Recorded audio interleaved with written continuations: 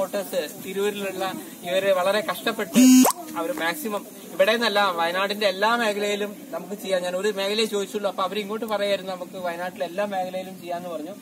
പറയൂ നമ്മുടെ Aaron Motors Aaron Aaron Motors Tirur എന്ന കൂട്ടായ്മ പ്രളയ ബാധിതർക്ക് വേണ്ടിയിട്ട് സഹായം നൽകാൻ തീരുമാനിക്കുകയും അതിനോട് സംബന്ധിച്ച് ചർച്ച നടക്കുമ്പോൾ നമ്മുടെ വിനീഷ് നമ്മുടെ സുഹൃത്തായ വിനീഷ് ചെട്ടിയാർ സന്തോഷ് പണ്ഡിറ്റ് സാറുമായി ബന്ധപ്പെടുകയും സന്തോഷ് പണ്ഡിറ്റ് സാറിന്റെ ആഭിമുഖ്യത്തിൽ നമ്മുടെ ഇവിടെ ഉള്ള ജനങ്ങളെ പ്രളയബാധിതരായ ജനങ്ങളെ വന്ന് കാണുകയും അവരുടെ കഷ്ടപ്പാട് കാണുകയും അവരെ നമ്മൾ സഹായിക്കാൻ തീരുമാനിക്കുകയും ചെയ്യുകയായിരുന്നു.